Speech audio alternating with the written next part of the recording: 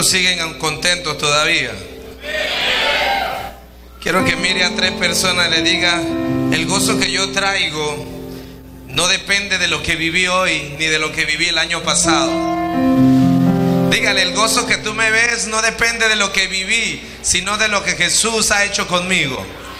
Amén. Hay mucha gente pensando que su gozo depende si le fue bien en el trabajo, si lo visitó la suegra, ya entonces vino triste a la iglesia. El gozo suyo es fruto. La Biblia dice que el Señor, el, fruto del Espíritu Santo, uno de los frutos es el gozo. Amén. Así que si usted tiene el Espíritu Santo, siempre tiene que estar gozoso. Amén. Yo quiero invitarte a que levantes tu mano ahí donde estás.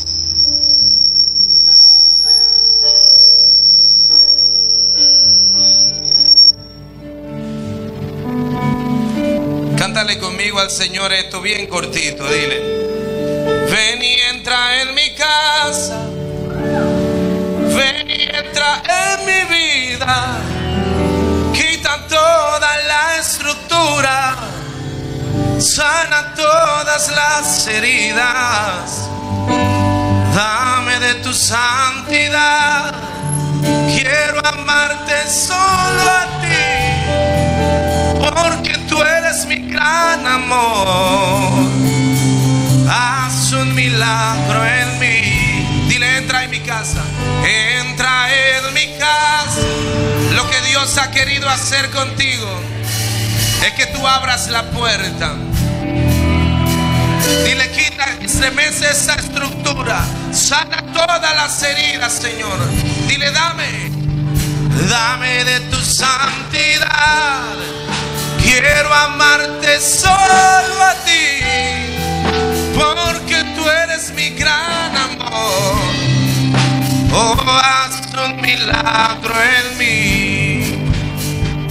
Ven y entra en mi casa. Ven, entra en mi vida, Señor. Quita toda, sana, sana todas las heridas dame de tu santidad. Quiero amarte solo a ti, porque tú eres mi gran amor. Haz un milagro en mí. Levanta tu mano y dile, Señor, yo vine aquí esperando un milagro tuyo, porque sabes que es lo que yo necesito porque sabes que tú tienes lo que yo necesito. Yo vine hoy aquí porque tú tienes lo que yo necesito, Dios. Lo que necesita tu casa, el Señor te lo entrega hoy. Lo que necesita tu ministerio para volver a levantarte, el Señor te lo devuelve hoy. Dame de tu santidad. Quiero amarte solo a ti, porque tú eres mi gran amor. Dile, haz, haz un milagro en mí, porque tú eres mi gran amor. Haz un milagro en mí, porque tú eres mi gran amor.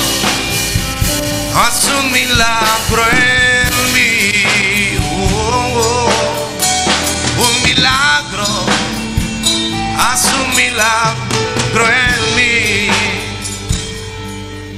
Oh, Espíritu Santo, que seas tú, Señor.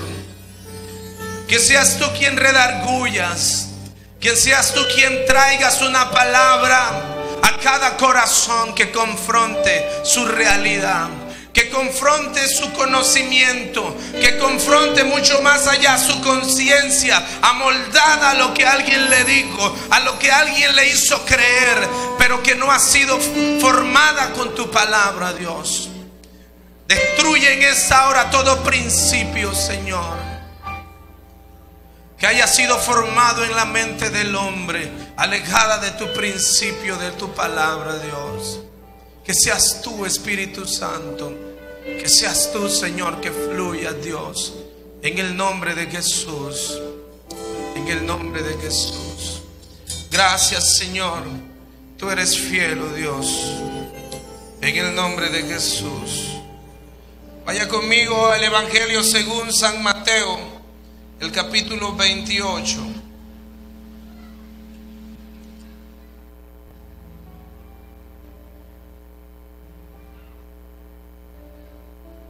Versículo 18. Yo sé que usted se sabe mucho este versículo, se sabe mucho este pasaje.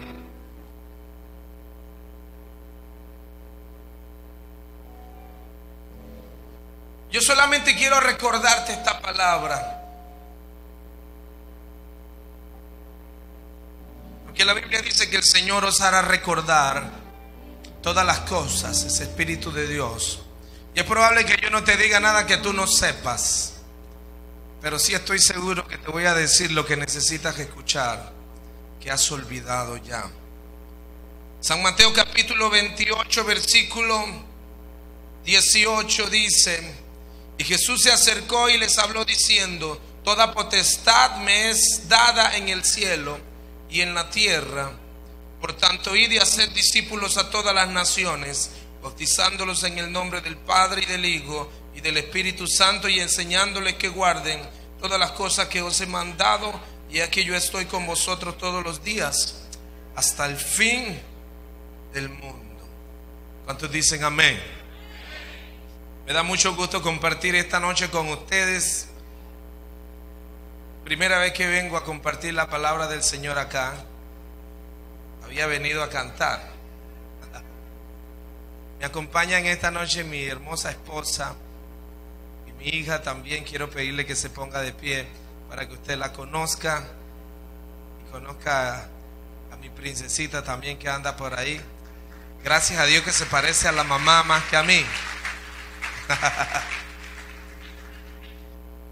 Quiero compartirte en esta noche una palabra que dice, conquista tu territorio. Dígale al que tienes al lado tuyo, ¿qué conquistaste?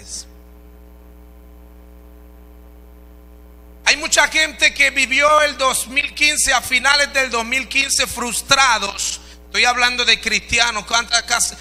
Aquí hay iglesia de Jesucristo, ¿verdad? Hay como cinco que son de la iglesia de Jesucristo. Los demás, bueno, voy a darle la oportunidad ahora otra vez le hago otra pregunta como esa para que se me despierte. La palabra de Dios dice que nosotros fuimos establecidos, fuimos fundados, ¿por qué? Por una doctrina no de cualquier hombre. ¿Quién estableció la iglesia de Jesucristo? Jesús. Diga, yo soy iglesia de Jesucristo.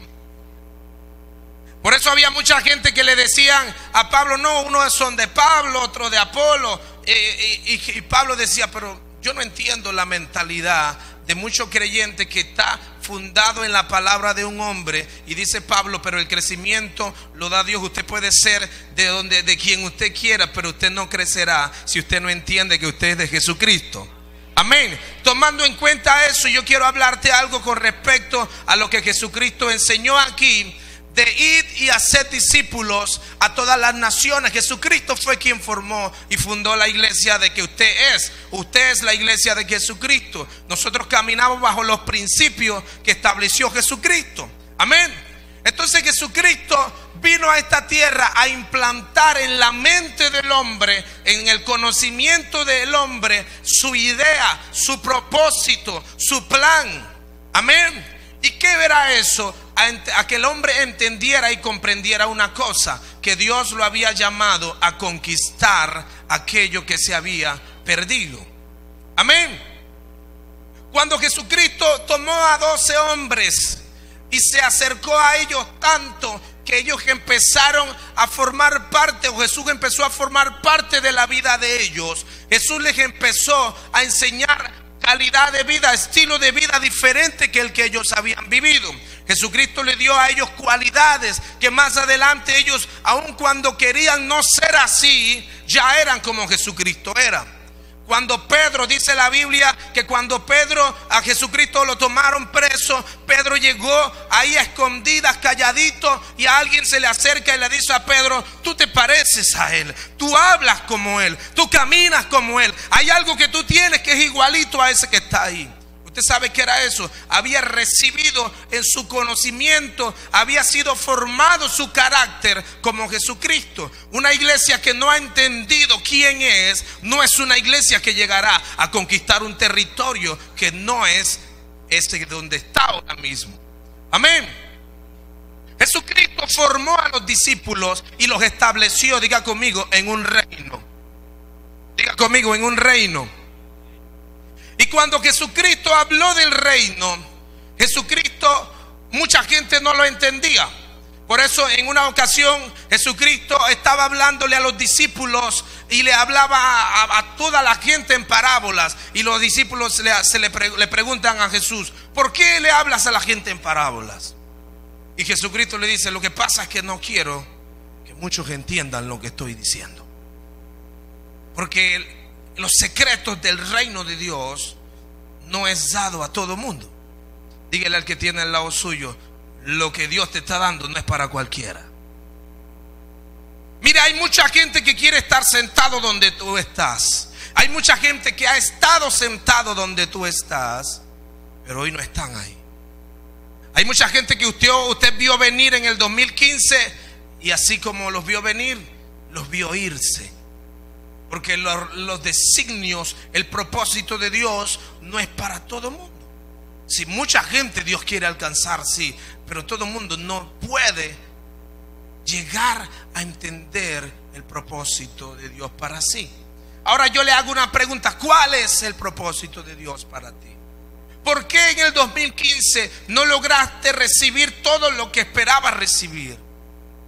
Hay muchas cosas que tú debiste tener, que Dios te dio y no lo llegaste a conquistar. No lo vieron tus ojos, no lo tocaron tus manos, aun cuando había una promesa y una palabra de que eso te pertenecía. Pero tú en el 2015 no lo viste. Y te aferraste a creerlo, pero no lo, no lo recibiste. ¿Por qué? Hay muchas cosas, mira, cuando Dios le prometió a Israel una tierra que fluía leche y que fluía miel, le dijo, mira, esta tierra no le pertenece a nadie. Ahí están los cananeos, ahí están los gigantes, ahí hay un pocotón de gente, pero te tengo que decir una cosa, esa tierra es tuya. De ahí a que la tierra es tuya y hay alguien dentro ya no es compromiso de Dios, porque Dios te dijo, te la doy y te entrego la victoria. De ahí en adelante es trabajo tuyo conquistarla. Hay mucha gente que no ha comprendido que lo que Dios quiere es despertar en ti aquella valentía que no has tenido para recibir lo que Dios te va a dar. Mire, te voy a decir algo, lo que tú no has recibido es porque no tuviste el valor de entregar lo que tenías que entregar para recibir lo que Dios te iba a dar. Nunca entenderás por qué no lo recibiste hasta el día en que sueltes lo que Dios te dijo que tenías que soltar. Y hay mucha gente que no lo ha recibido y muchas que nunca lo recibirán porque no han sido capaces de entregar lo que tienen que entregar.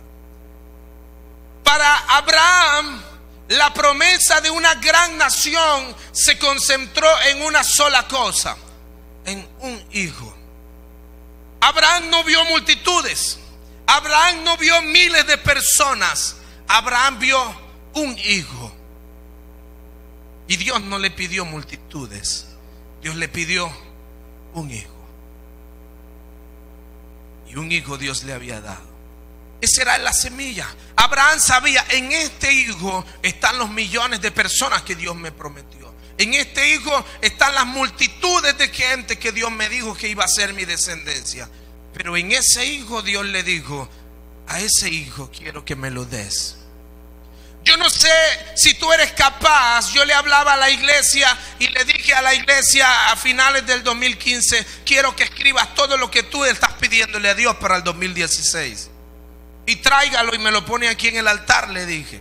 Y ahí todo el mundo me trajo un pocotón de papelitos que parecían un periódico largo y que no lo podían ni doblar. y yo le dije, mira, entiende una cosa. Si tú no has podido entregar lo que se te va a dar, nunca lo recibirás. Abraham, Dios le dijo, entrégame a tu hijo. ¿Qué significaba eso? Devuélveme la promesa que te di. Estás pidiéndole a Dios una casa, estás pidiéndole a Dios un carro, estás pidiéndole un trabajo. ¿Eres capaz de cuando Dios te lo dé devolverlo si te lo pide? ¿Eres capaz de entregarle a Dios aquel hijo que le has pedido cuando lo tengas, entonces devolvérselo a Dios?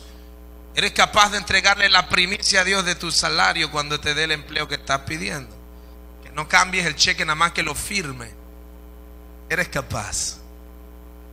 Si no eres capaz, no vas a recibir lo que le estás pidiendo a Dios. Porque Dios te dice, eso que te estoy dando es mío. Te lo estoy prestando. Entonces, yo te estoy hablando todo esto porque Jesucristo empezó su ministerio entregándose a Él. Mira, esto no es tan fácil como mucha gente lo ha mirado. Para Jesucristo no fue muy sencillo establecer el reino de Dios aquí en la tierra entregando su vida. Porque Jesucristo al fin de todo, cuando llegó al momento de, más fuerte de su vida aquí en la tierra, su humanidad le hizo no querer hacerlo. Yo no sé si usted lo entiende, pero Jesucristo cuando estaba en el monte aquella noche en el se o dice que oraba y su, su sudor era como grandes gotas de sangre. Y en ese momento Jesucristo le dijo, si es posible Dios, Padre, pasa de mí esta copa.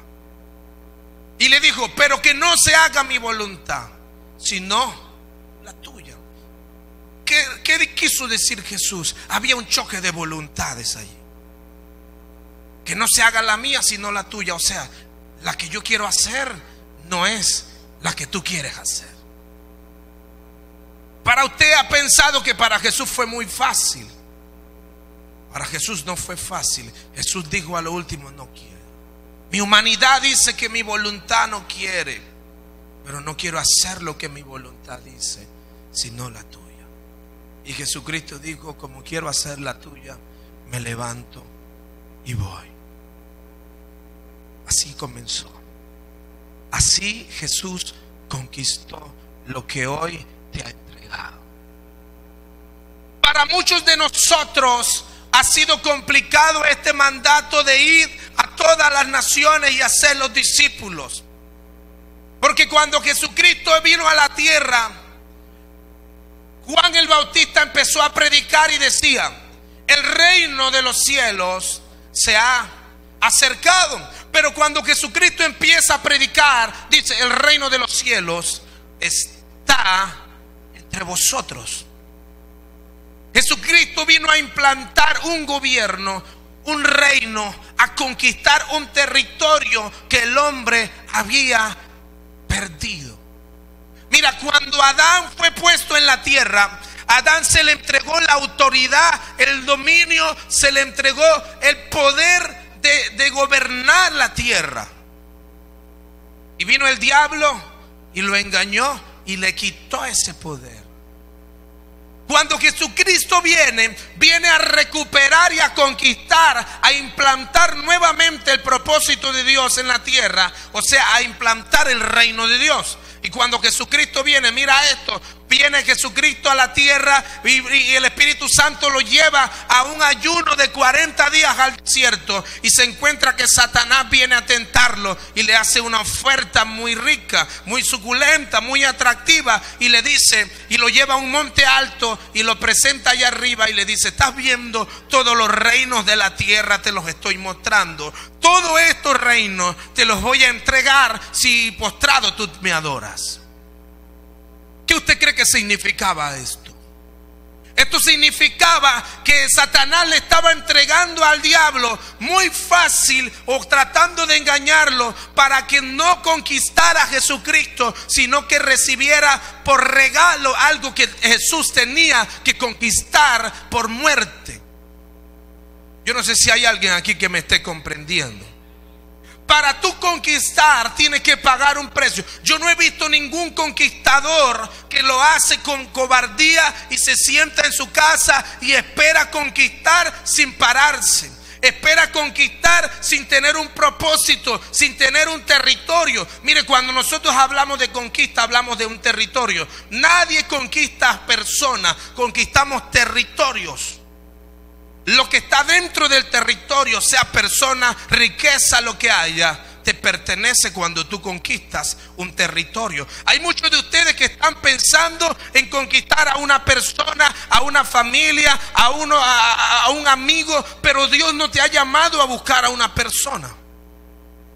Dios te llamó a ti a conquistar a un territorio y todo lo que estará dentro de ese territorio, tú serás el que gobierne en eso, ese lugar.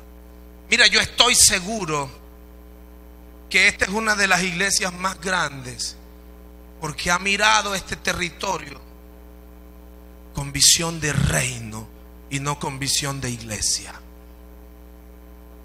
no con visión de religión, de conquistar la mente de un hombre, de cambiar la, mente de una persona, que ya no vayas a la iglesia donde vas, ahora ven a la mía, porque en la mía los coritos son más ricos, porque en la mía es diferente. No, porque tú no estás pensando en buscar a una persona para cambiarle la mente, tú estás pensando en buscar un territorio donde toda la gente vea la diferencia que es vivir en un reino que no es gobernado por Satanás. Este año que estamos viviendo, que ya comenzamos a vivir, Dios está llamando a la iglesia no a estar pensando en cosas pequeñas. Dios está llamando a la iglesia a pensar en cosas grandes. Hay cuatro que me entendieron y me creyeron. Este año Dios no te ha llamado a pensar en, ah, mira, la gente que piensa dice que Dios es Dios de, de cosas pequeñas también. Sí, claro, Dios se manifiesta en lo pequeño. Mira, yo no estoy de acuerdo cuando un pastor me dice, nosotros somos 10, pero somos 10 que estamos firmes y vamos para el cielo. Y tenemos 15 años de estar aquí, 15 gatitos fuertes y aquí estamos y el diablo no nos ha derrotado. Esa mentalidad no es la mentalidad que Jesucristo implantó en la tierra. Cuando Jesucristo dijo, id a las naciones, ¿de qué te estaba hablando? Diga, de territorio. Jesucristo estaba hablando de naciones, estaba hablando de lugares, estaba hablando de raza, estaba hablando de miles de personas. Cuando tu mentalidad es tan corta que no puedes entender que el propósito de Dios te quedará grande si tú no te montas en el reino y estás pensando en una religión. Dios no te ha llamado a tener una mentalidad de religioso. Dios te ha llamado a mantener una mentalidad de conquista del reino. ¿Eso qué quiere decir? Aplauda duro si va a aplaudirle al Señor.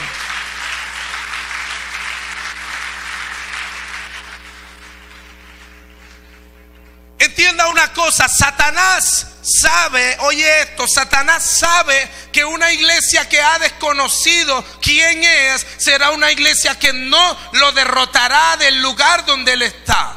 Porque la Biblia dice que tú tienes que llegar y atar al hombre fuerte. El hombre fuerte, los demonios están divididos, organizados, no por personas ni por familias. Están organizados por territorios.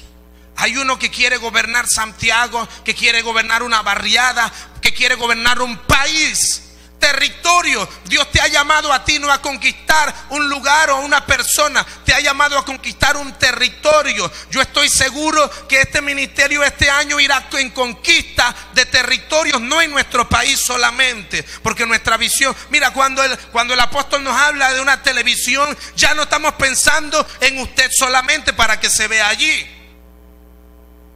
Ya estamos pensando que donde esa televisión llegue, alcanzará que diga conmigo, un territorio. La persona con visión o, el ministerio que tiene una visión de reino de Dios no se enfoca en cuatro ni en cinco, porque esa es la mediocridad que el diablo quiere que un ministro tenga. Yo estoy tranquilo porque tengo 10 personas y van para el cielo. Dios no nos ha llamado. Yo no entiendo por qué muchos de nosotros como cristianos, yo no sé si esto le va a confrontar a usted, pero hay muchos cristianos que han venido a la iglesia porque quiere ir para el cielo. El propósito de Dios no es que tú vayas para el cielo y yo no sé si me vas a tirar la Biblia por esto. Pero el propósito de Dios no es que tú vayas para el cielo. Jesucristo oraba y Jesucristo dijo, venga a nosotros tu reino. Alguien aquí que me está entendiendo. Entonces el propósito de Dios no fue agarrarte a ti para llevarte al cielo, es agarrarte a ti para que tú traigas el cielo a la tierra. Cuando tu mentalidad empieza a cambiar de para qué Dios te llamó, no para llevarte para allá arriba, porque Jesucristo dijo, yo voy a preparar morada para ustedes. O sea, cuando yo me vine, no había un lugar para ti. Ahora que yo me voy, voy a preparar un lugar para que tengas siete años de vacaciones en el cielo y después vengas a seguir el trabajo. Yo no sé si hay alguien que me está comprendiendo. Si usted no lo ha entendido, tiene que leer la Biblia porque esto la Biblia lo dice. Si usted está pensando en que Dios lo trajo aquí para que vaya para el cielo, usted está equivocado. Usted Dios lo llamó para que por medio de usted el cielo venga a tu casa, venga a tu barrio, venga a Santiago, venga a Chiriquí, venga a Panamá y venga a Latinoamérica y al mundo. Pero el problema de la iglesia es que la iglesia se prepara es para ir para arriba y no para traer de allá arriba el cielo aquí. Jesucristo dijo esto entonces. Mira lo que dijo. Donde leímos en Mateo 28, capítulo 19, dice, capítulo 18, y Jesús se acercó y le habló diciendo, toda potestad me es dada, oye esto, en el cielo y en la tierra. ¿Está entendiendo eso? Jesucristo dijo, toda potestad me es dada en el cielo y en la tierra. ¿Qué quiere decir eso? Que Jesucristo recibió autoridad, recibió poder, recibió dominio para poder entregárselo a la iglesia. Usted tiene la autoridad, usted tiene el poder, usted tiene el dominio, pero lo que pasa es que el diablo ha engañado a la iglesia porque el diablo sabe que si la iglesia sabe esto, le va a ir muy mal a él. Y entonces la iglesia que hace se cuida del diablo. Dios no ha llamado a la iglesia a cuidarse del diablo. Y perdóneme, no sé si me va a tirar la Biblia por esto también. Pero Jesucristo le hablaba yo a los jóvenes en el campamento. Se acercó cuando Pedro le fue revelado quién era él. Y Pedro dijo, tú eres el Cristo. Y entonces Jesús le dijo, sobre esta roca yo edificaré mi iglesia. ¿Qué dijo? Yo edificaré. ¿Cómo la voy a edificar? Entonces Jesucristo dijo, las puertas del infierno no prevalecerán en contra de la iglesia. ¿Qué significa esto? Te lo voy a explicar. Yo le decía a los muchachos, ¿qué significa una puerta? ¿Para qué es una puerta? ¿Alguien a usted lo ha atacado con una puerta? Ah, nadie, ¿verdad? ¿Para qué la puerta? La puerta es un arma de defensa. La puerta es para evitar o que usted entre o que usted salga o que alguien salga. Las puertas de la iglesia son cerradas después que todos nos vamos para evitar que alguien se vaya. No, para evitar que alguien se meta cuando no hay nadie. Pero las puertas de, la cárcel de Santiago son para evitar que alguien entre o para que alguien salga. Para evitar que alguien salga. Entonces la puerta tiene funciones de proteger, no de atacar. Dios le dio a la iglesia autoridad de atacar. Mira lo que la Biblia dice. Las puertas del infierno no prevalecerán en contra de quién entonces, cuando Jesucristo declaró esta palabra, dijo, las puertas del infierno no soportarán a una iglesia que sabe quién es. Las puertas del infierno no aguantarán cuando la iglesia se levante a declarar una palabra de victoria y de conquista. Mira, detrás de las puertas del infierno está tu familia condenada porque no ha creído. Detrás de las puertas del diablo, del infierno, del reino de las tinieblas, está toda la mitad de Santiago. Todos los que no han entendido que Dios Jesucristo vino a entregar su vida por ellos, están detrás de esa puerta. Y la iglesia está cuidándose del infierno en vez de destruir la puerta del infierno. Y ahora me entiende por qué yo le he dicho que Dios no ha llamado a la iglesia a cuidarse del diablo, sino a destruir las obras de Satanás. Pero ¿cuál ha sido el problema de la iglesia? Que la iglesia se ha preocupado por cuidarse y decir, tengo 10 años aquí y nadie me ha sacado. Tengo 15 años sirviéndole a Dios y aquí estoy firme y no he hecho absolutamente nada, pero me siento orgulloso porque estoy firme y las puertas del infierno están tranquilas porque yo no he entendido que yo las puedo derribar. ¿Hay alguien aquí? Entonces por esa razón Jesucristo le dijo a los discípulos, toda potestad me es dada. Cuando nosotros hablamos de potestad, estamos hablando de reino, estamos hablando de dominio. ¿Qué es dominio? Dominio, diga conmigo, es un poder territorial. Gobierno es poder territorial. Mire, Varela aquí manda hasta que llegue a Paso Canoa. De ahí para adelante puede hacer lo que quiera y eso no le hace a nadie. ¿Por qué? Porque el poder del gobierno tiene territorio. Dios te ha entregado a ti territorio. Dice la Biblia que cuando Israel iba, Israel caminaba y las naciones que iban vecinas estaban con miedo porque Israel donde iba, iba ganando territorio, iba conquistando y ya se preocupaban. Viene cerca Israel. Hay que ver qué hacemos porque Israel viene llegando aquí y si le da la gana de conquistarnos, nos conquista. Entienda una cosa. Dios te llamó a ti no para venir a la iglesia a sentarte un año más. Dios te llamó a ti no para venir aquí a, pensar en los problemas tuyos solamente. Dios te llamó para que conquistes tu ciudad, para que empieces conquistándote a ti primero y que esto alcance hasta las naciones. Si tú no has podido comprender esto, créeme que vivirás otro año más como lo has vivido siempre. La iglesia nunca cambiará si no empieza a entender quién es la iglesia. Jesucristo le dijo, el reino de los cielos es comparado a un hombre que tenía un hijo, a una mujer que se le perdió una moneda, a un hombre que sembró una... Eh, Jesucristo empezó a comparar todas sus enseñanzas casi con el reino de Dios, con el reino de los cielos. ¿Por qué? Porque quería que la gente entendiera que ahora que él había venido, había llegado a conquistar algo que el diablo había conquistado. ¿Por qué razón Jesucristo no se quedó solamente en Belén o en Jerusalén predicando?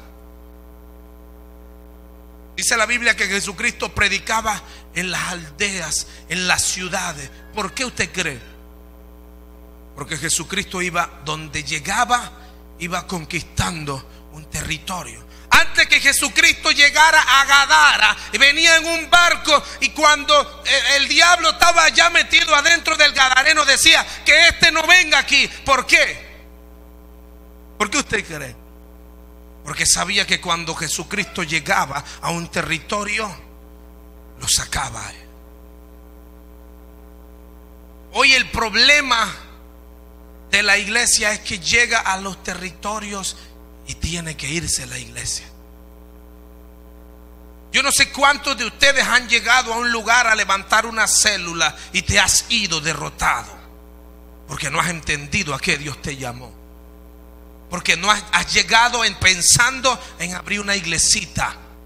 En agasar una, tres, cuatro gatitos. Mira, cuando cambies tu mentalidad, Dios te entregará ciudades, Dios te entregará naciones, porque tú no vas pensando en una mentalidad mediocre, vas pensando como Jesucristo venía. Entonces el reino de Dios, por eso es que usted tiene que comprender esto. Esto no es venir a la iglesia un año más, venir a cantar, venir a que ah, le, alivien sus problemas. Dios, mira, cuando, cuando Dios llamó a Gedeón, el diablo había, el diablo te quita todo lo que tú tienes. Dice la Biblia que los madianitas le habían quitado a Israel la comida, las semillas, los animales, la tierra, lo tenían viviendo en cuevas y en todos lados. Y Dios le dijo, yo voy a contigo, vamos a conquistar tu tierra otra vez. Contigo vamos a ganar. Y se levantó con 32 mil hombres, después nada más quedó con 10 mil y después nada más quedó con 300. ¿Por qué quedó con 300? Y la primera razón por que se fueron los 20 mil fue, los, los 22 mil fue porque tenían temor, porque tenían miedo. Y después los lleva Gedeón a las aguas y Dios le dice, ponlos a tomar agua. Y cuando los pone a tomar agua,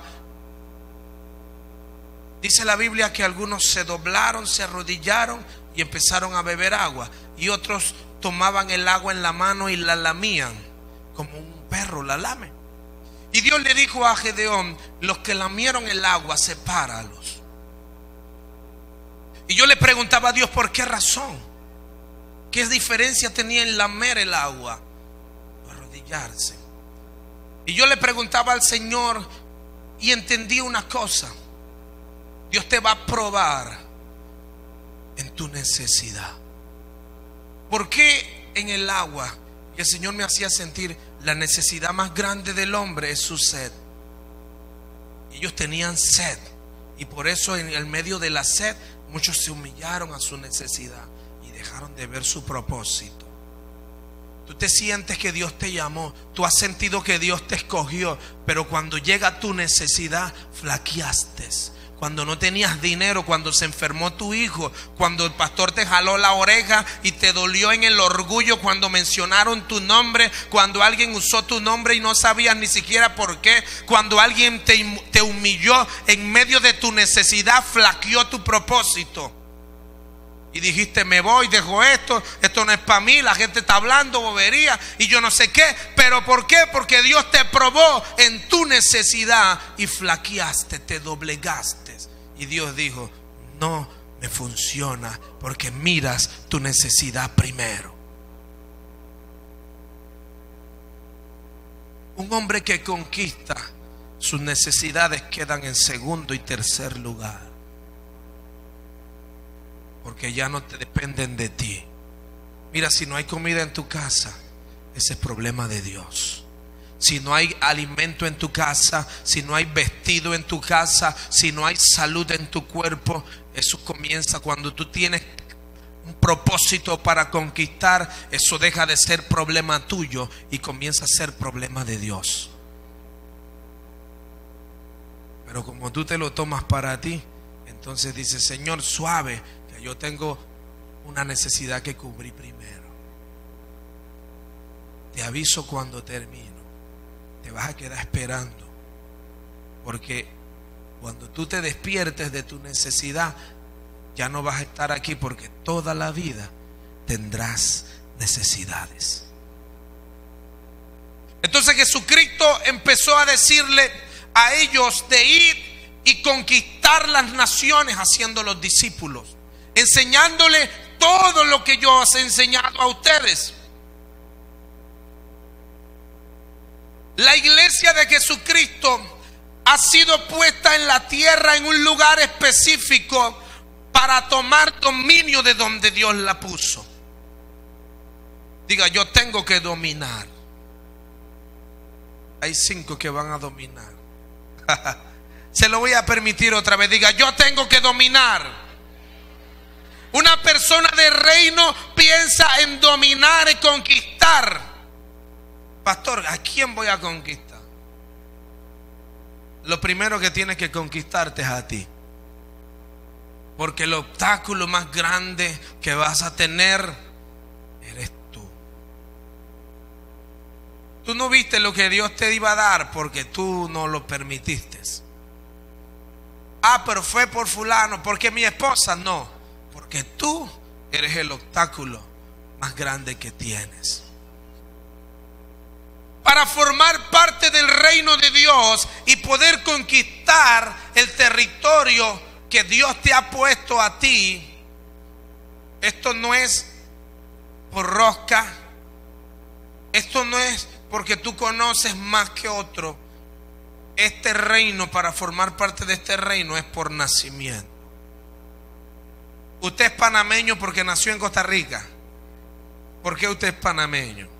Porque nació en Panamá, fácil. ¿eh? Para formar parte del reino de Dios, Nicodemo le dijo a Jesucristo, ¿cómo haré para obtener la vida eterna?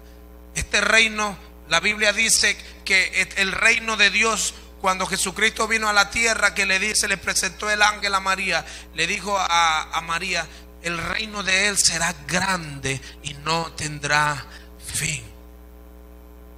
Cuando dijo que no tendría fin, estaba hablando de mí. Y estaba hablando de usted, pero como usted no lo creyó, no dijo amén. Cuando la palabra del ángel le dijo a María, su reino será grande y no tendrá fin, estaba hablando de la iglesia de tabernáculo de santidad en Santiago. Amén. Estaba hablando de la persona que en cualquier lugar del planeta Tierra está expandiendo el reino de Dios. Porque eso es que no ha tenido fe. La iglesia de Jesucristo ha perdido la urgencia de que Cristo viene. La iglesia del Señor ha perdido la urgencia de que hay que hablarle de este evangelio a mucha gente. Ha perdido la urgencia de que ya Cristo está a la puerta y que este reino tiene que ser predicado en toda la tierra. Y la iglesia no se ha preocupado por eso. La iglesia, yo soy cristiano para ir a recibir a la iglesia, pero no me siento capaz de dar. El problema es que no has cambiado tu mentalidad y has pensado en venir a la iglesia como un religioso más. Y es muy probable que vivirás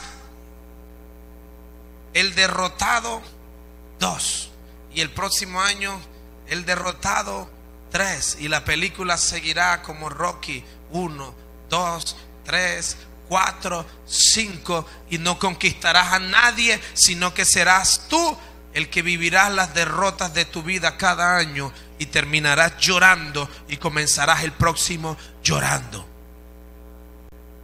¿Por qué razón? Porque en tu mente no ha cabido la posibilidad de que tú eres rey y que eres sacerdote. En este reino hay dos tipos de personas. Hay reyes y hay sacerdotes.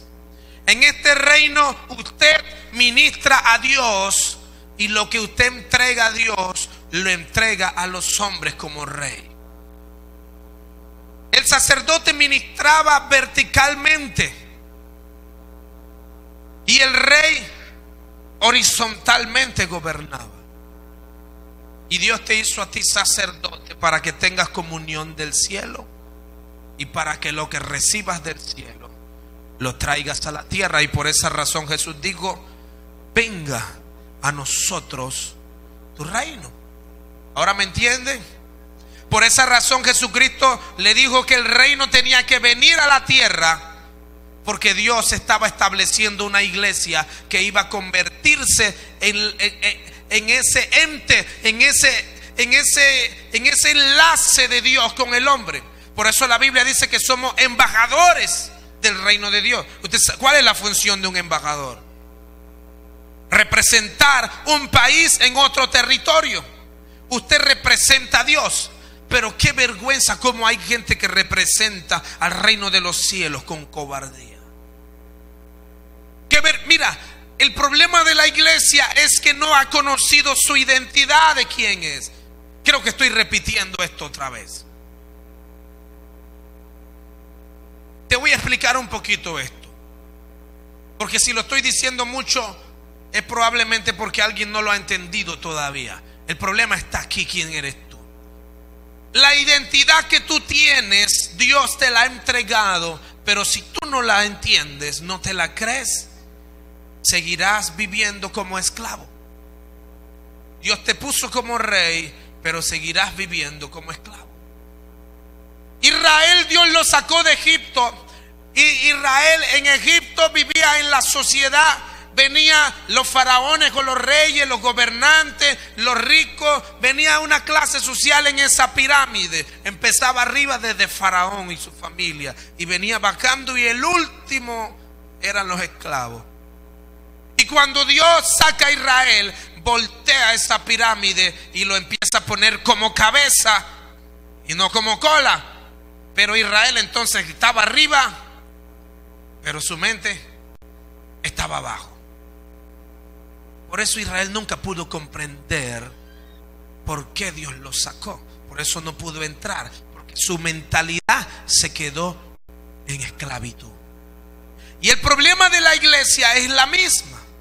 El diablo le dice, mira, ya ha venido engañando a la iglesia porque una iglesia que no tiene conocimiento de quién es y de qué poder tiene, no atacará a Satanás. Y por eso las puertas del infierno quedarán sonreídas y bien lustradas y bien ahí con sus cadenas, porque no la iglesia que la destruya, porque la iglesia no sabe que tiene poder para destruirla. Y no se atreve a levantarse en contra de Satanás. Dios está llamando a una iglesia que... Yo no he visto a nadie que, que no ataque y conquiste.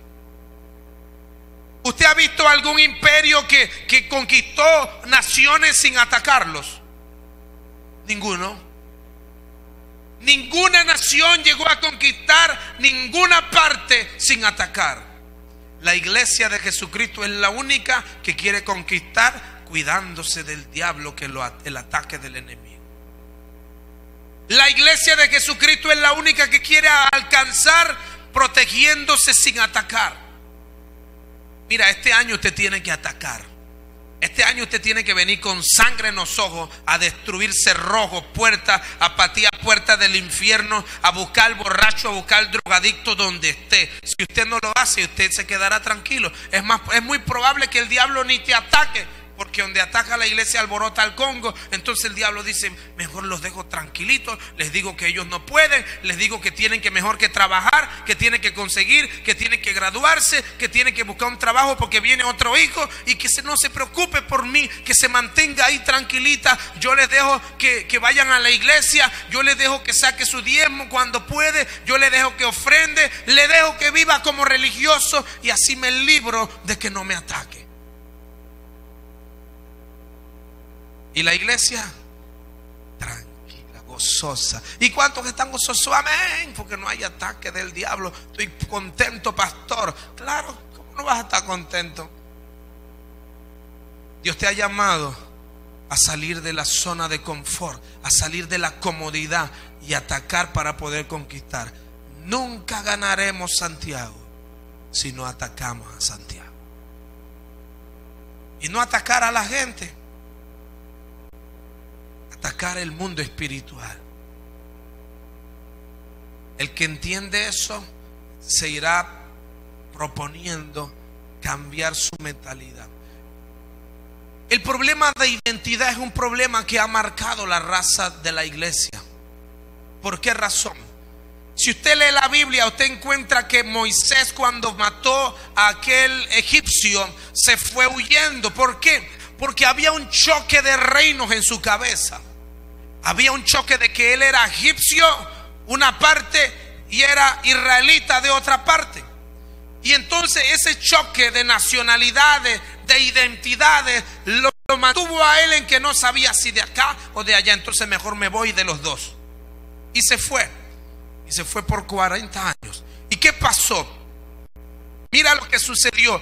Dice la Biblia que Moisés llegó a un lugar donde estaban unas mujeres, unas muchachas eh, con unas ovejas y estaban en un pozo y habían otros pastores que no dejaban que sus ovejas tomaran agua. Y Moisés llegó y las defendió y les dio agua a las ovejas. Yo no sé cuántos han leído la historia, pero dice la Biblia que cuando estas muchachas llegan a su casa, le dicen a su padre, un varón egipcio nos dio de beber a nuestras ovejas y nos defendió. ¿Qué dijo? ¿Un varón qué? Egipcio. ¿Qué quiere decir? Que Moisés no parecía israelita, sino egipcio. Moisés quería conquistar a su pueblo, pero su identidad, su mentalidad era como egipcio. Hablaba como egipcio. Caminaba como egipcio, se vestía como egipcio y hablaba idioma egipcio. Pero creía que era del pueblo de Dios. ¿Qué le está pasando a la iglesia de nuestros días? Eso. Sentimos que somos cristianos, pero hablamos como mundanos. Pensamos como mundanos. Y la gente te ve y te dice, es mundano. Hasta que usted diga, no, soy cristiano. Ah, perdón. Pero tú dices, soy cristiano. Y Dios sacó a Moisés por 40 años. ¿Para qué? Para borrar la identidad egipcio que tenía. Cuando Israel regresó, ya no se vestía como un egipcio. Ya no hablaba como un egipcio. ya no se entendía con los egipcios, sino que venía de parte de un solo pueblo. Ya no había sentimientos en, el reino de Egipto por él, porque, porque cuando él estaba allí, él se sentía parte del, del trono, parte de la corona, parte de la familia real. Ya Dios había arrancado el sentimiento del mundo. Mira, hay cosas que te van a querer amarrar a este mundo. Pastor, es que yo no puedo dejar mi trabajo, mi casa, este es mi hijo. Este es mi hijo. Mira, a mí el otro día un hermano me decía, pastores que están hablando de mis hijas y esas son mis hijas y usted no me entiende porque son tus hijas. Y digo, ¿qué quiere que yo haga? Pues? Ahora, ¿qué, tengo que hacer? Porque son tus hijas, tengo que tumbar la iglesia y, y cerrarla. Entiéndame que son mis hijas. Mira, te voy a decir una cosa. La Biblia dice, el que no deja padre, madre hijo, hija, hermano, por, por Jesús, por seguir a Jesús, puedes ser mi discípulo. Si tus hijas son primero que Jesucristo en tu vida, creo que no vas a poder funcionar. Si hay algo que te robe la identidad de Jesucristo, a ti no conquistarás. Porque cuando los demonios te vean, no te van a reconocer como hijo de por eso los demonios le dicen, mire, usted que usted tiene que entender una cosa, en el mundo, en el mundo espiritual tienen que conocer tu nombre. Porque tú no estás mezclado entre el reino de allá y el reino de acá. Cuando, cuando aquellos hombres, muchachos que fueron de que a reprender demonios y que el demonio le dice, yo conozco a Pablo, a Jesucristo también conocemos, pero tú quién eres? ¿Qué usted cree que pasó ahí? ¿Quiénes son ustedes? Ustedes no aparecen en la lista del reino de Dios. Usted está aquí en el medio, no eres ni del reino de allá, no eres ni del reino de acá. ¿De dónde saliste? Iglesia de Jesucristo. O estás o no estás. Entienda una cosa, Dios te llamó para formar parte de su reino y en el momento que formas parte del reino de Dios, eres enemigo del reino de las tinieblas. No puedes estar de que aquí allá, porque vas a tener problemas bien serios. No te van a querer ni allá ni acá. Porque la Biblia dice que te van a vomitar, de acá te van a vomitar. Porque no estás ni allá ni acá. Entonces entienda una cosa, si usted vivió el 2015 de que con una, un pie allá y otro pie acá, de que echando la canita al aire y después, no, porque Dios me perdona mañana, no te preocupes, que yo hago esto y mañana yo me confieso. Y ya estamos como que, no, yo digo cinco Ave María y un par de Padre Nuestro y saco mi diezmo y pongo un 10% más y problema resuelto. Yo sé que esto no pasa aquí, no se preocupe. Entonces en el reino de Dios es el, propósito del reino de Dios en la iglesia, es que usted comprenda quién es la iglesia aquí en la tierra, cuál es el papel de la iglesia aquí en la tierra. Los, los territorios son conquistados por reinos que entienden que tienen poder. Un conquistador o un rey que no tenía poder ni que no pensaba que iba a ganar, no salía a pelear. Usted quiere ganar el 2016, usted tiene que ganarlo ahora. Me encanta esto de los 12 cultos de la primicia. ¿Usted sabe por qué? Porque no hay batalla que se gane allá. La batalla se gana primero acá. Usted el 2016 lo está ganando aquí.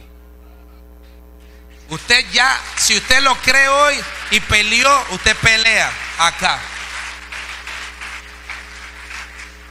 David no venció a Goliat cuando le tiró la pedrada.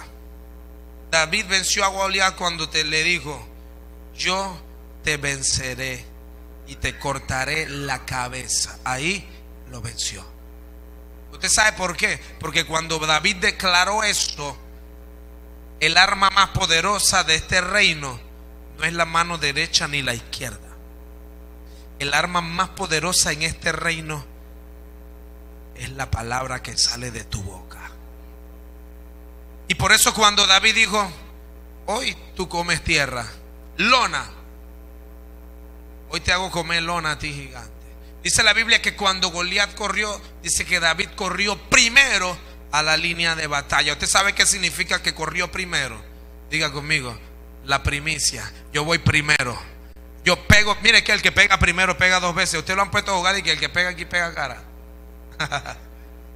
el que pega primero pega dos veces y por eso David dice, yo voy primero. Por eso es que Dios habla de la primicia. Porque Dios dice, dame a mí. Y el profeta Elías cuando llegó le digo a la viuda, dame a mí primero. Porque cuando tú haces a mí primero, ese es el propósito del reino, esa es la mentalidad del reino. Yo no creo en que lo que tengo es mío, yo creo que primero le doy a Dios y ya gané todo lo que tengo. Mire, entienda una cosa, usted del diezmo no le quedan 90. De lo, de, saca 10%, usted no le quedan 90. ¿Usted sabe qué le queda a usted? 10%. ¿Cómo es eso, pastor? ¿Dónde están los 90 que te quedan? Usted sabe con lo que usted está sobreviviendo, no son con los 90, con los 10 que le diste a Dios. Esos 10 son los que hacen que tu bendición venga. Esos 10 son los que guardan tu casa para que el devorador no venga a molestar a tus hijos. Esos 10 son los que cuidan tu negocio. Esos 10 son los que te hacen que la bendición tuya permanezca. Así que cuando usted puede dar 20, de los 20% y no 10. Usted pensaba de que, ah, no, a mí me quedan 90, negativo, usted no le quedan 90. Esos 90 le quedan al machetazo, le quedan a Martinelli, le quedan a Varela, le quedan en la estación de gasolina. A todo mundo le quedan esos 90. A usted lo único que le quedó fue lo que le dio a Dios. Por eso en el reino la primicia, dale a Dios primero, porque eso va a garantizar que en este reino seas bendecido. Ponte de pie. Yo creo que no tengo que hablar más.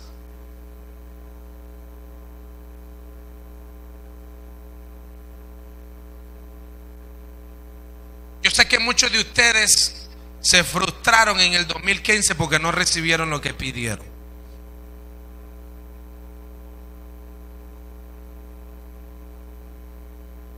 Pero te voy a dar un secreto que la Jesucristo lo dio. Y con esto yo quiero que el que cree esta palabra pase aquí al altar, porque yo voy a declarar una palabra sobre usted. Jesucristo dijo, en este reino, el que tiene, se le dará más. Y el que no tiene, aún lo que piensa tener, le será quitado. Pastor, eso es injusto. Oye esto, en este reino Jesucristo dijo, este es el principio de este reino. El que tiene, se le dará más. Y el que no tiene aún lo que piensa tener, le será quitado. Y yo te voy a explicar esto qué significa. A cada uno de ustedes Dios le dio algo para que en el 2015 lo entregaras y lo multiplicara. Usted sabe que Dios está buscando de la iglesia multiplicación de lo que Dios te da. Ministerio, talentos, dones, dinero, lo que sea. Pero lo que Dios te dio, Dios te lo entregó para que lo multiplicaras. Si tú no lo multiplicas, mire, yo le voy a decir una cosa. ¿Usted sabe por qué en esta iglesia hay mucha gente? Porque hay mucha iglesia aquí en Santiago que Dios le está quitando talentos y se lo está dando al que tiene más. Y esta iglesia se seguirá llenando porque el que usa y el que tiene más, porque lo está usando, Dios le quitará al que, al que no tiene y se lo dará al que tiene más. Porque en el reino Dios anda buscando productividad. Nadie que no es productivo será bendecido. Dios no le da nada a nadie que no reproduzca lo que Dios le da. ¿Para qué le pediste a Dios algo en el 2015? ¿Tú sabes por qué Dios no te lo dio? Porque no eres productivo.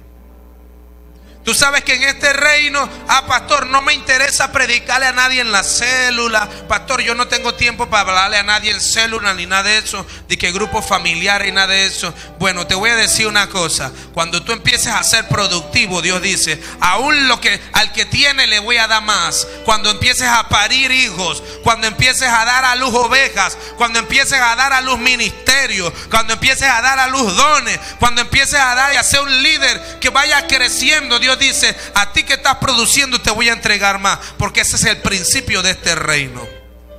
La productividad. Señor, yo declaro en esta noche, Señor, que esta palabra de reino que ha sido entregada a esta iglesia, una iglesia que su mentalidad se haya llevado, Señor, se haya sido llevada a tu propósito, Dios. Vamos, levanta tu mano ahí donde tú estás.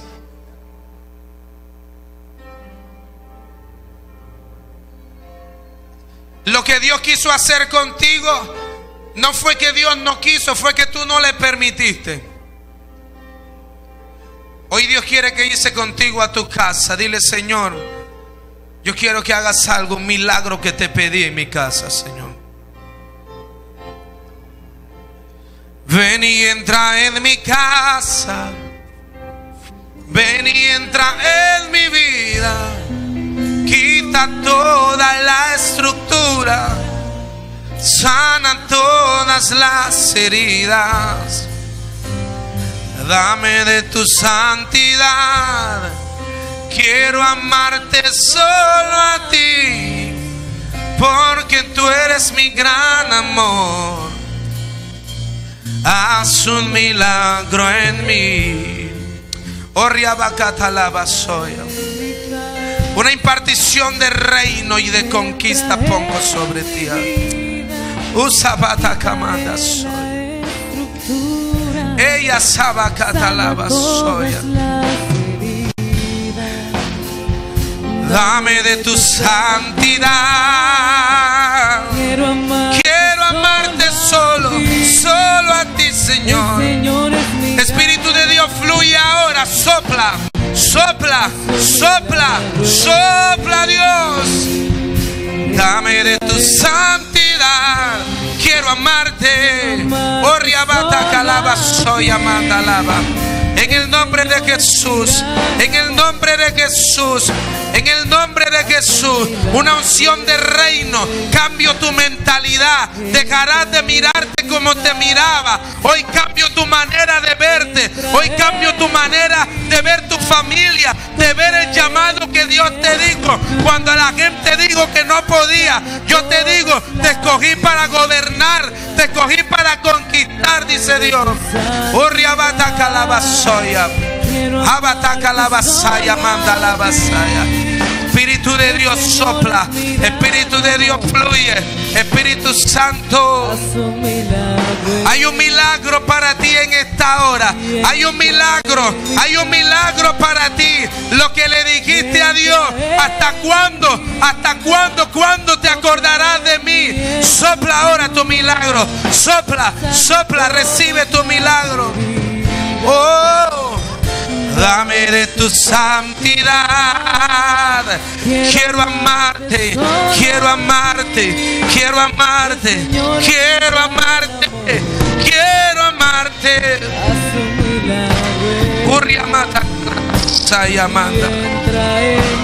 Hay una gloria sobre ti que sube. Fluye ahora. Sopla Espíritu Santo. En el nombre de Jesús. En el nombre de Jesús. Cambio hoy tu mente. Te llevo al entendimiento de lo que te llamé, para qué te escogí.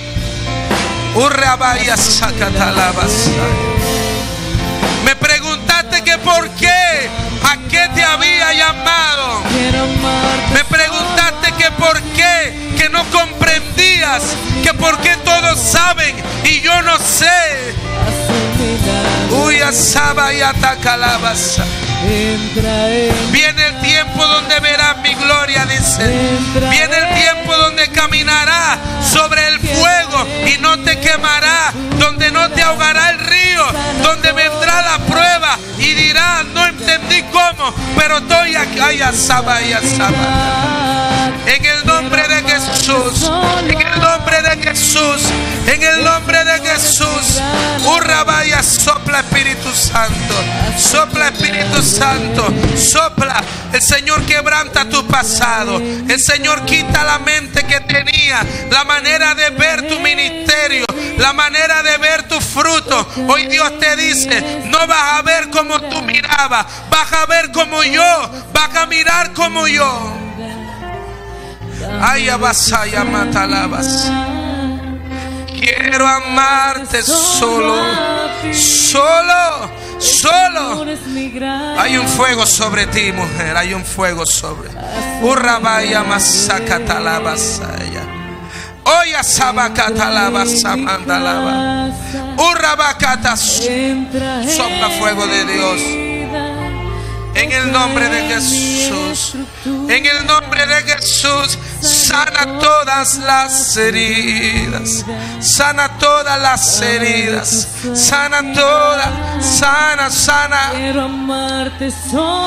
Sana la herida, Señor. Sana la herida, Dios. Señor te dice, yo sano tus heridas. Porque yo no uso un soldado herido. Déjame sanarte. Déjame sanarte para usarte y conquistar contigo. Llegaremos donde nadie ha podido llegar, dice Dios, pero déjame sanarte hoy.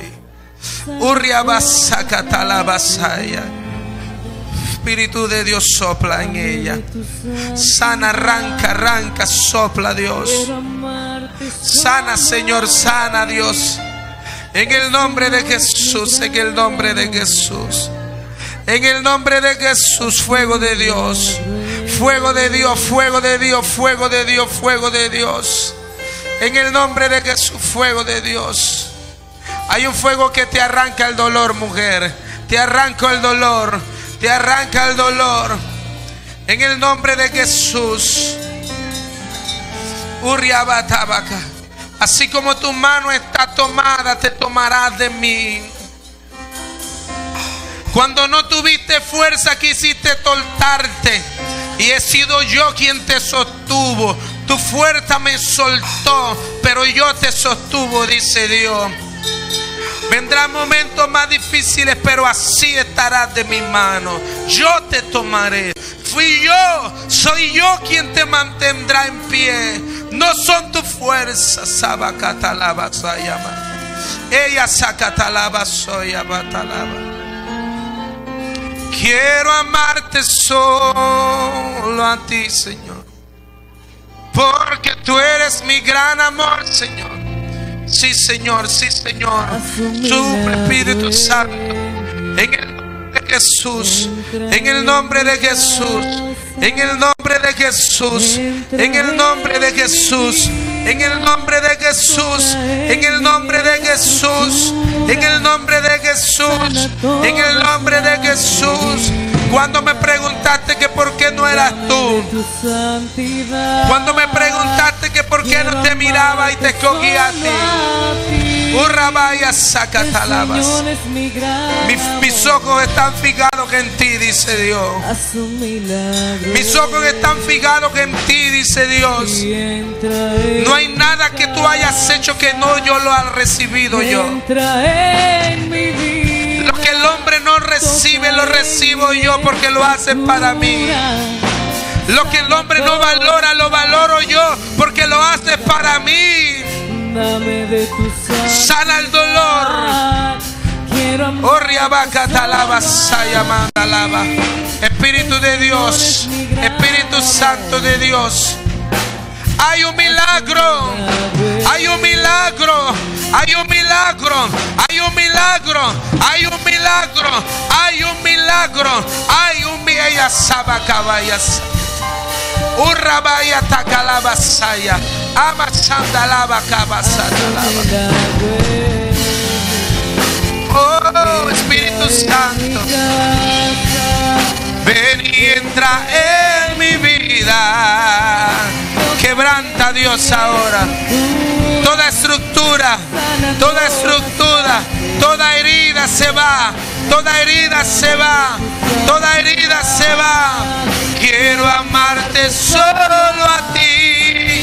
Porque tú eres, tú eres, tú eres, tú eres, tú eres, tú eres. Urrabaya manda cabasaya. Abasata la basaya manda. En el nombre de Jesús, fuego para ti. Tengo algo para ti, dice Dios. Tengo algo para ti, dice Dios. Tengo algo para ti. Algo para ti. Algo que me pediste. Algo que querías saber y sentir. Tengo algo para ti, dice Dios. En los secretos te revelaré mi propósito. Urria vayas. Entra en mi vida, quiebra en mi Ah, vayas a manda nombre de Jesús. Dame de santidad. En el nombre de Jesús. ¿Por qué pensaste que yo no estaba? Dice Dios. El ¿Por qué dudaste que yo estaba ahí? ¿Por qué pensaste que yo no estaba? ¿Por qué dudaste de mi palabra y pensaste que yo no estaba? Tu necesidad. Arramanda acaba, devuelvo lo que te un día te puse en tu mano. En el nombre de Jesús. En el nombre de Jesús. En el nombre de Jesús. Sana toda herida, Señor. Sana toda herida, Señor. Quiero amarte solo a ti. Sí, Señor. Levanta tu mano ahí donde estás. Dile, Señor, yo no quiero vivir en el reino de la tierra. Ya yo no quiero vivir en el reino de los hombres. Ya yo no quiero vivir pensando en que vivo en esta tierra para siempre. Yo no pertenezco aquí. Yo no soy de aquí. Tú no me traíste para formar parte de este gobierno. Tú me traíste para ser de tu reino. Yo soy extranjero. Yo soy peregrino. Yo no soy de esta tierra. Yo no me adapto a lo que este mundo dice. Yo no me adapto a lo que la gente dice. Yo no me adapto a lo que el doctor me ha dicho.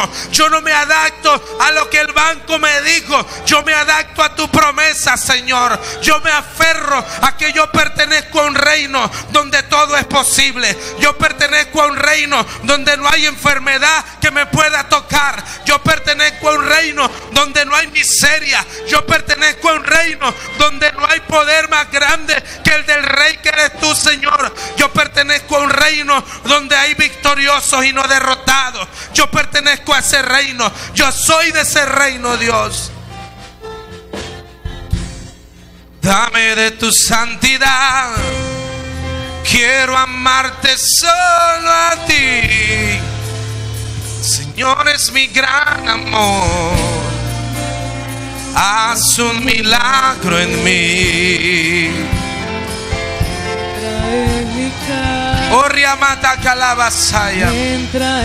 Sopla espíritu de sopla de norte a sur, sopla de este a oeste.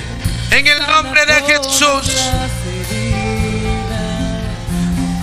Hay un ejército que Dios está levantando para conquistar. El que no lo cree, no lo logrará. El que no se mete en el propósito del reino, solamente verá la proeza desde lejos. Solamente mirará el reino desde afuera. Solamente dirá, son gigantes, es difícil, pero no participará. Dios está llamando a gente que se atreva. Dios que está llamando a gente que diga, Señor, yo no me rindo ante lo que el hombre dice. Dios está levantando un remanente de conquista, un remanente de gente que irá sin temor a conquistar al perdido, que no habrá endemoniado, que no habrá demonio, que no habrá diablo ni infierno que me haga detener. Iglesia, este 2016 es un año de conquista, un año donde verás a Dios manifestarse con una manera poderosa sobre la vida de aquellos que van al frente de la batalla. Haz un milagro en En este año verás que cuando tú llegas a los lugares donde tú vas, los endemoniados se alborotarán, los enfermos serán sanos sin que tú levantes una sola mano. Y no porque tú dijiste que esto iba a pasar, solamente porque te atreviste a ir. Dios está buscando gente que se atreva. Ya no esté en el día 2016, no es un año para cobarde. Dios está buscando gente que se atreva a representarlo a Él, a representar a Dios.